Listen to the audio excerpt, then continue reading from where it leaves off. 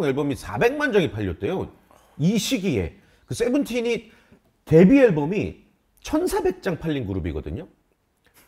1,400 2015년도에 그리고 이제 2019년도에 3집이 70만 장이 팔리고 지금 400만 장이 팔리니까 그러니까 계단식으로 엄청나게 성공을 했는데 이거보다 저는 더 성공할 것 같아요. 저는 그러니까 그 팬덤끼리 싸움을 붙이는 건 절대 아닌데 BTS만큼이나 어떻게 보면 그 이상으로 더 세븐틴이 잘 될 것 같아요. 훨씬 더 지금도 잘 됐지만 방탄소년단도 어. 난 처음에 어이 팀 이름이 방탄소년단이 뭐야? 그 방시혁이 탄생시킨 뭐 예, 그런, 예. 그런 너무 그 있었죠. 방시혁 느낌 너무 어, 강하고 어, 그래서 어. 되게 쓰는데 어. 내가 연예부에 쫓겨나가지고 지금 사회부 일을 하고 있는 거지 뭐 아, 그래요? 이게 뭐 아, BTS를 제대로 선견 지명을 못 어, 하셨구나. 처음에는 그러니까 되게 BTS는 그냥 되게 열심히 하고 막 트위터 열심히 이게 이렇게 터질 거라고는 아. 상상도 못했던 진짜. 하긴 뭐 세븐틴도 뭐 1,400장에서 시작해가지고 그러니까요. 400만 장이면 BTS가 저는 BTS의 성공 요인 중에 정말 빼놓을 수 없는 부분이 그 자체 채널 컨텐츠를 통한 어떤 팬들과의 그 벽을 없앤 거라고 보거든요. 그래서 그렇게 활동을 하던 아이돌 그룹이 별로 없었어요. 그러니까 가수는 신비로워야 돼.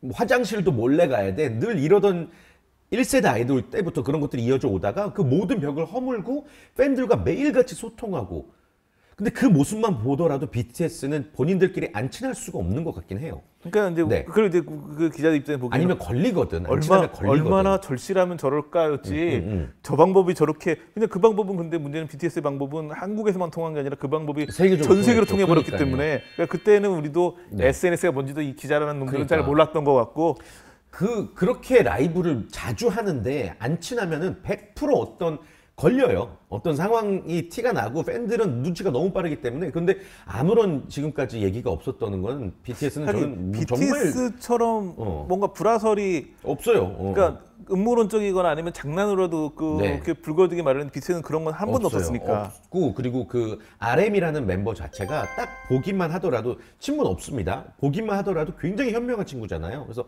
어, 한 그룹의 리더로서 뿐만이 아니라 하나의 선배로서 형으로서 정말 잘 이끌어 나가는 것 같아요. 그리고 그때 그 훈장 수여하는 그 현장에서 볼 때 팬들 함성 때문에 서로 서로 소리가 막 안 들렸었거든요. 근데 그때마다 그러니까 한 인사만 해도 막 소리를 지르니까 거기 계신 뭐 이순재 선생님도 다 웃으셨어요.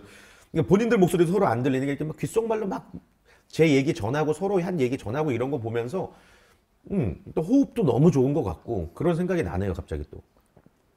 아 그러니까 좀 국회에서 열심히 해가지고 그 호흡을 계속 보게 만들어주지 왜 지금 군대를 보내가지고 그진 씨가 군대 갔고 제이홉도. 갔고 휴가도 올해 안에 가야 되고 아. 지금 아마 올해 안에 좀 한두 명 더 가지 않을까라는 음, 그래서 아마 음. 올해 내년 새에 끝내야지 2025년 정도에 그 완전체 가능해지니까 음, 저는 완전체 활동 확신합니다.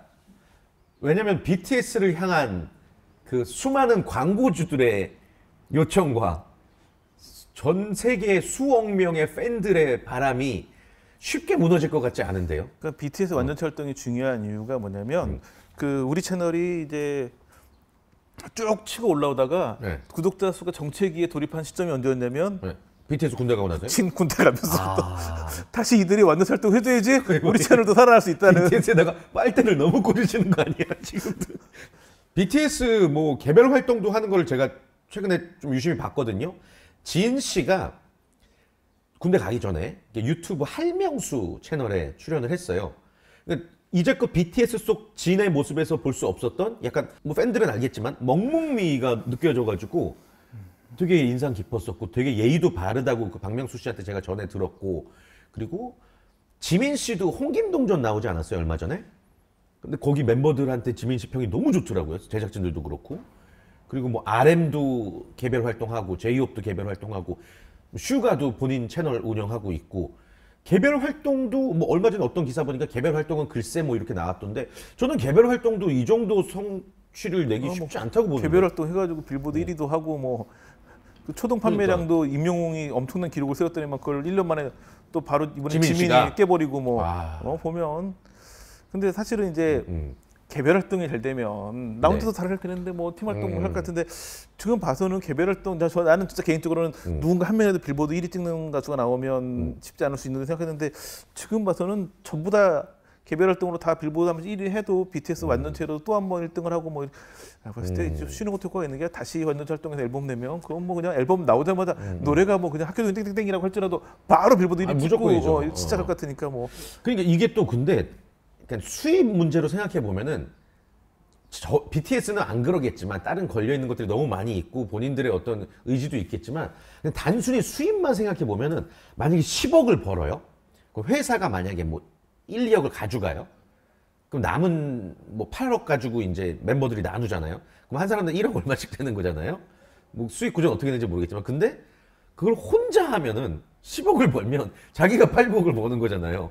그런 생각을 하면은 이래서 아이돌들이 이제 단체 활동을 하면서도 개별 활동을 할 수밖에 없고 또 단체 활동이 생각만큼 잘 안 되는 이유도 그런 것 때문이 아닌가. 근데 그거는 네. 10억 받아가지고 1억씩 나눠 먹는 어. 상황에서 그런 거고 조 단위로 버는 사람들은 아 개념이 다르지 않을까라는 생각이 조단이에요 BTS?